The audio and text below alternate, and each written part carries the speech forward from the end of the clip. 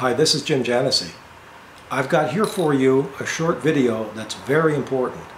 It's very important because here, as we're passing the midpoint of the term, it's important for you to really have an effective way of wrapping up the work in this course. Now, unfortunately, some people have been rather behind in that, and I suspect there's a degree of panic. We're approaching the withdraw deadline that comes at the end of the seven week of the 10 week term. I hope nobody really has to consider withdrawing, but some people are pretty far behind. So make sure you take a look at this video that follows. It's based on slides and my narration of them. It's very important because I show you two different strategies for wrapping up the course. And the second of those strategies might apply very well to you, depending on your learning style, and how you can most rapidly acquire the information you need to complete assignments. So without further ado, let me show you the slides that I've composed to show you what's going on with these two different approaches that I call the bottoms-up approach and the top-down approach. It occurred to me that there's a second way to use the resources in the workbook for GPH 205. So I prepared this short presentation to compare what I call the bottoms up and the top down methods for using the workbook to learn the material in GPH 205. This is a table of contents of the pages that we're going to be taking a look at. Just a bit of an overview. GPH 205, Historical Foundations of Visual Technology, requires two books, the Story of Art, and this workbook. This workbook is the course. It takes the place of a learning management system in getting you to navigate to the web resources for this entirely online course. You probably already know this, but let me just go over it once again. The course is divided into four segments, I call them units. And each of these units has three items of work. There's a repeatable online exercise, which is instantly graded homework, it's intended that you do that multiple times, one question at a time, and it helps you review what you don't know. That's the whole point of it, to force you to go back and read and view and find out where your statements are incorrect. And I'll show you an example of that shortly. The unit also has a short amount of written homework, which become notes for your reflective essay, and each unit contains a hands-on project that uses some simple materials to help you really experience some of the concepts that you've learned. The whole course ends with a reflective essay. There is no final exam. I give a lot of feedback and the ability to revise and resubmit work, and that feedback far exceeds what you would get from a midterm or a final. The reflective essay is very important for you because just as with these other items, it's worth 25% of your course grade. Exercises count for 25%, written homework 25%, hands-on projects count for 25%, and the reflective essay counts for 25%. Let's take a look, just to review, what an online exercise looks like and some of the important points. Repeatable online exercise, the contents are printed in the workbook. And each one of these exercises consists of five questions. Each question has 10 true-false checkmark statements. You see an example here of the first question in the first exercise. The intention is that you use these for notes, that you check these off at some point before you go online. And if you need to change your answers, you check mark here and you erase and you adjust so that your notes are complete. And you work a given exercise one question at a time till you perfect it. Then you go on to the next question.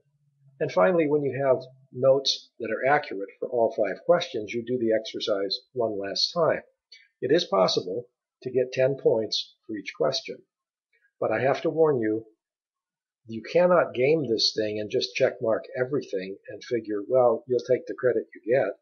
Because although the check marks of the true statements each add a little bit to the question score. If you check mark a false statement, you can subtract anywhere from 30% to 100% of the value of the question. So your mistakes are counted against you, and that's just a little technique I use to make sure that you actually read these statements, that you're not just sort of trying to come in here and play a game with this and cheat yourself out of the learning experience. These are learning tools. They're not quizzes, although the online system that supports them calls them quizzes. That's just the mechanism that I use to implement this form of exercise. This, by the way, is based on acknowledged research that indicates that when you have to do this sort of thing and refine your answers, you actually learn things better. The written homework, the unit summary form, is kind of a simplistic way to collect information that you're going to find useful for the essay. There's one of these for each unit, and they each have the same format. Each row is a given civilization or era. Here we have the ancient Lascaux peoples that we cover first in chapter 1 of the Story of Art. These are the kinds of entries I'm looking for. I've given you these so that everybody has correct information for Lascaux. That's because in the middle of the term, I'd like for you to write the first page of your reflective essay, and it's based on this information. So you all have that information to work with as well as an example of what I'd like to see in these cells. In these cells, by the way, do not copy text from the workbook or from some other source and put it in here. I only read the first 50 words of whatever you've put here. And the reason I do that is I want you to express in your own words, just as I've done here, these pieces of information about each of these civilizations. I don't want a bunch of text in here in what I call a shotgun answer, that it's in there somewhere. That's not good enough. I want the first 50 words to be the words that say what's going on, and that means you have to figure out what really is the answer to this question of art purpose for the African civilization, art purpose for Egypt, and so forth. This link down here, what you want to pay attention to is this little URL. That's a little redirector URL. That will get you a copy of this form in a format that any word processor can open. That's the way you actually submit this, although the intention is that you use the print published workbook to accumulate notes here as you accumulate that information. The information is going to come from one of three sources actually one of four sources. It's either going to come from the workbook itself, or the story of art, or from video lectures that are in the video playlist for each chapter that's indicated in the workbook. Each chapter in the story of art has a page in the workbook and it has a link to the video lectures and also supplemental videos, which is the fourth way that this information comes to you. So I'm giving you this as a study sheet so that you can accumulate information here. When you submit this, I grade it and I give you feedback and I essentially tell you what you missed. And then you revise and resubmit this so you work yourself into a perfect set of USFs by the time that you're going to start writing your reflective essay. I shouldn't say that. You don't have to have all USFs in order to begin your reflective essay. You could even start the reflective essay on day one using this information, but it would probably be a little premature to do that. You don't have to pay much attention to this funny little barcode here. This is something that may or may not catch on. It's just an encoding of this URL that you can scan with a smart cell phone, an iPod or an iPad if you have a free scanner. And that's just a piece of software that interprets this with the camera that's already in the device. The unit summary form. These items are the pieces of information you're looking for, and as I've mentioned, it ties into this do it, submit it, get feedback, revise it, and resubmit it, kind of a mode of operation. The projects are intended to be fun. These have you doing things with your hands. For example, the first is to pull out some sheets from the workbook itself and fold them up into these perfect solid shapes. And the next is using some simple tools like a straight edge and a compass to construct a golden rectangle, which this chapter talks about as an important element of artistic design and architectural design from ancient Greece onward. In fact, the Egyptians seem to have had some knowledge of the golden rectangle. So what is it? Well, you learn about that in Unit 1. You put that knowledge to work here so you actually can construct one of these just on a sheet of paper. You take a picture of it then, and you send me a picture of you holding that item up. And that picture is what becomes your submission for this particular part of the assignment.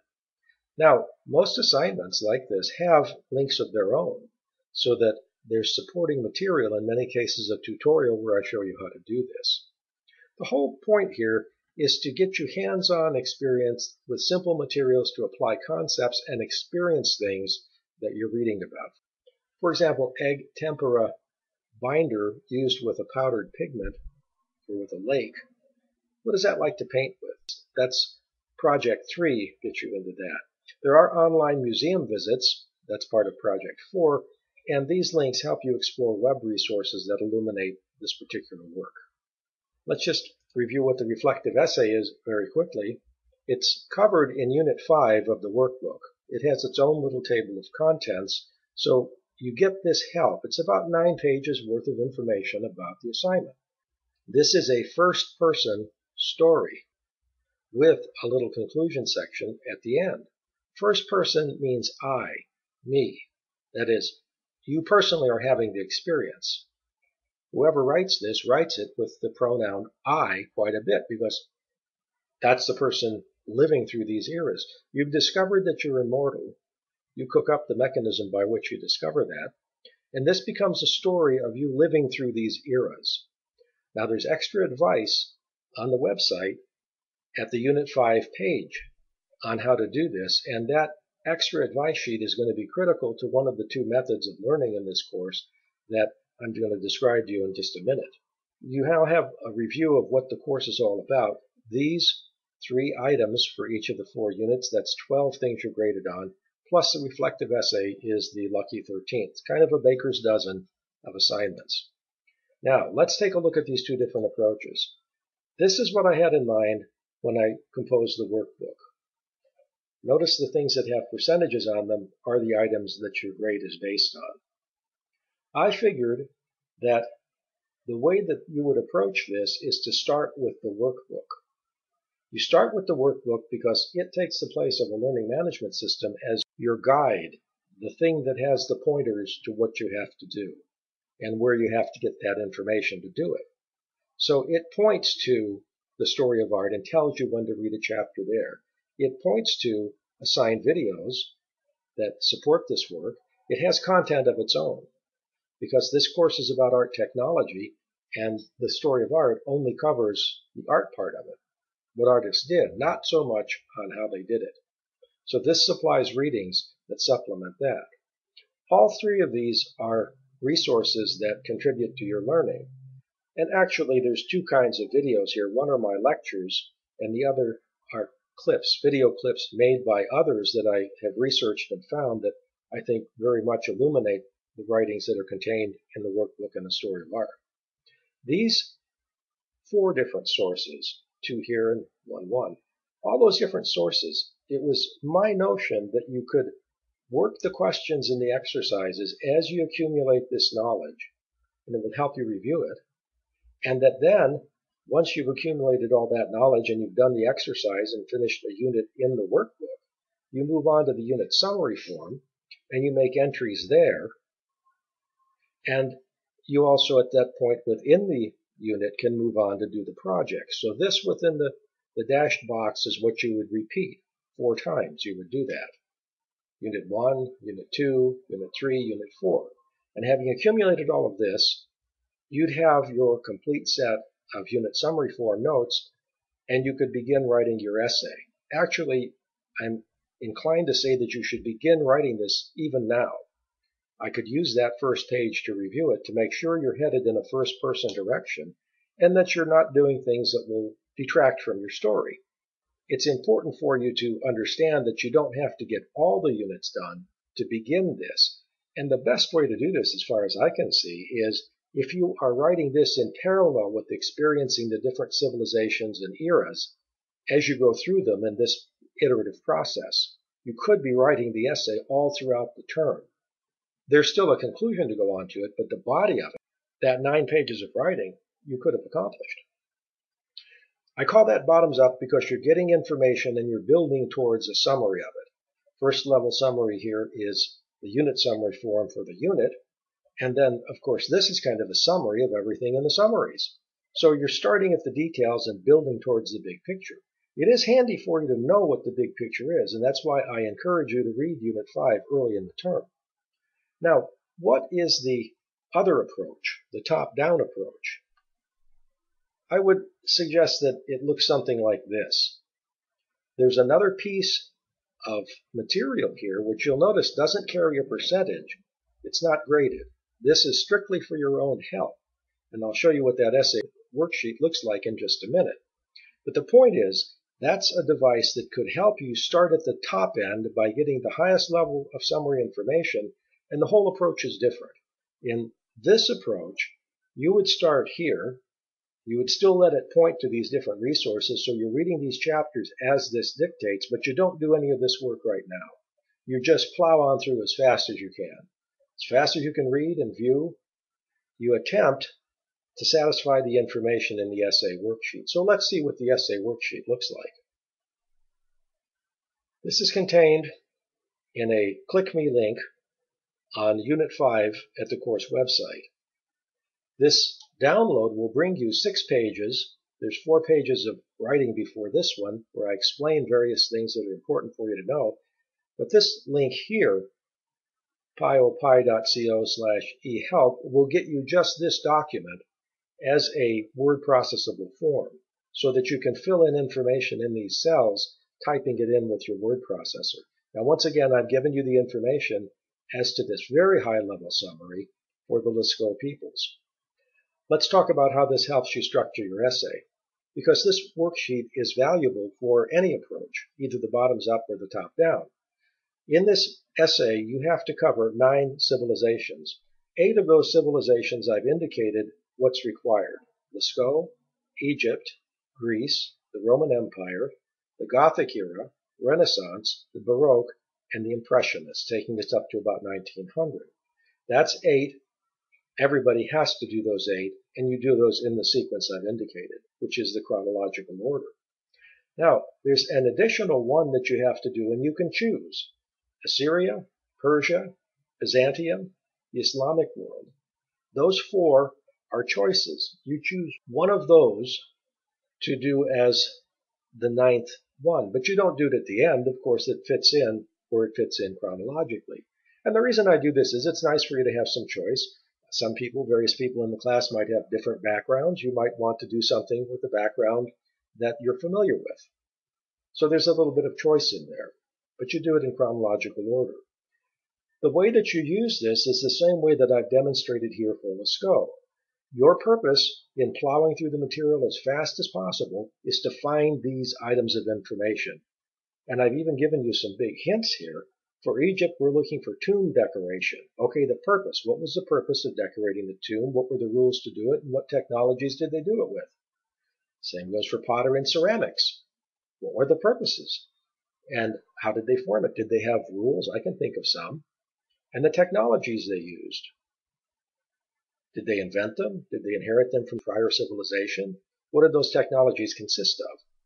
So you do this, and your driving force here then is these two pages. You want to put valid information into each one of these cells. And in a case where perhaps we don't know what the rules were in Lascaux, you would also put in here not applicable or unknown, just so that you don't leave it blank. This becomes your very high level outline the top level, that's what the top comes from, the top level of your information summary. The whole point of this is to drive you to get the essential information as you plow through the readings and the viewings as fast as possible. You're going to get familiar with that material by doing this. Depending on your learning style, this may be more relevant to you. This may fit better with you to just plow through the readings as fast as possible, plow through the viewings, and be making notes on this as you pick the information up. Then where do you go? Well, before I get there, let me just point out the end of the essay, that is the end of your reflective essay, has three small mini essays which are conclusions. Each one in their own right looks like a thesis statement. Make sure you read this information in this extra advice handout for the reflective essay. You don't want to overlook the conclusions. They count for an awful lot of your grade in the essay. Let's go back and see how this form fits into the top-down method. It's here. You plow through these materials as rapidly as possible to complete this.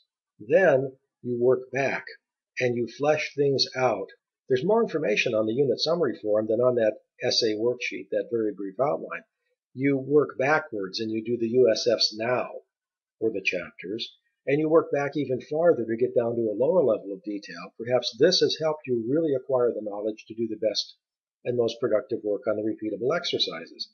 I would still suggest you use the exercise worksheets to take notes so that when you get to the online system, you're not just pounding on the keys and forgetting what you entered the last time, but you actually have an organized way of keeping track of the information.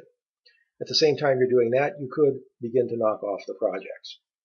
And these you can do in parallel with the exercise for a given unit. All of this is a way to get to the point of having the information you need. Based on this, you can then compose your reflective essay. This is perhaps better set up to composing the entire essay at the end of the term, but I would still like to see the first page of your essay come in in draft form by the middle of the term so I can see that you're going in the right direction. I'm trying to save you some grief. It has happened in the past that somebody not familiar with this approach to writing has launched off and developed a traditional academic paper, perhaps having ignored what Unit 5 says. In that case, it's kind of painful to get to the point of understanding that you've gone in the wrong direction once you've gone quite far in that direction. So that's why I'd like to see the first page of your essay now, which is the middle of the term and slightly beyond, because I'd like to correct your orientation on this if it's not correct before you have a major investment going in the wrong direction. Let's at this point go back to the table of contents and let's summarize things. There's two different approaches, the bottoms-up approach, the top-down approach. They each go in a different direction through the material. They each have a different orientation, either building up from details to the top level of knowledge and summarization, or starting with looking for that top level information as rapidly as possible and then fleshing out the details. Both of these wind up with the reflective essay and you having the information in these resources, primarily the unit summary forms, to compose a reflective essay. Let me just point out the essay worksheet is very valuable in this method also because it does help you organize the information that you're going to have to put into here. It identifies that information for you. So keep this essay worksheet in mind regardless of which approach you choose. One other point, make sure that you think about your approach.